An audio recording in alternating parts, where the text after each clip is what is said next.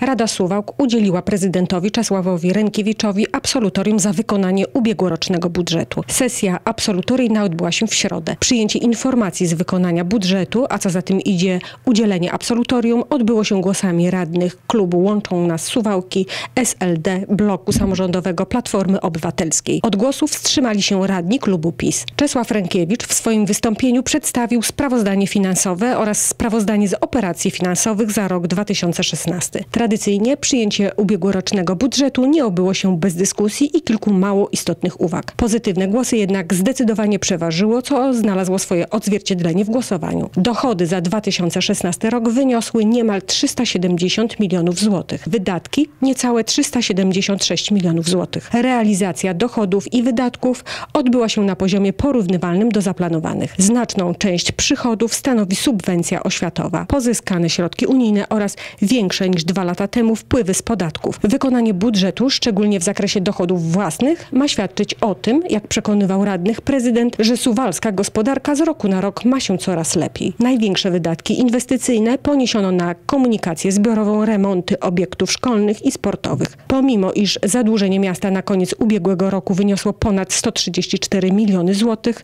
bankructwo nam raczej nie grozi. W budżecie miasta nie wystąpiły też żadne zdarzenia obciążające budżet na rok 2017.